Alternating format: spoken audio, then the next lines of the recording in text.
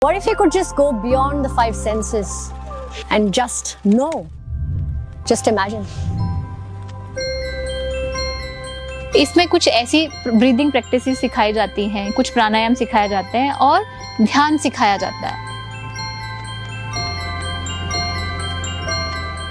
So it's something that we are sowing inside them, deep inside, and that is going to sprout for them when they require it. यार गजब यार very good पहली बार देख रहा हूँ बड़ी खुशी हो रही दिल से No educational system around the world has taught them to be happy.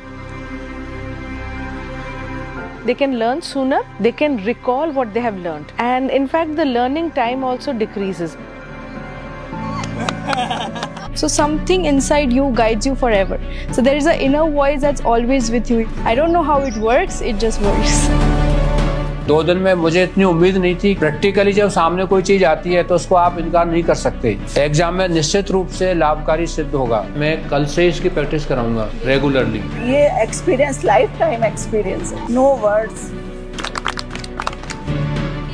इस योग शिविर का चमत्कार ही इनकी छठी इंद्री जागृत हो गई। पता नहीं आप लोगों ने क्या ऐसा किया है क्या दिखाया है उनको कि वो जीना सीख गए।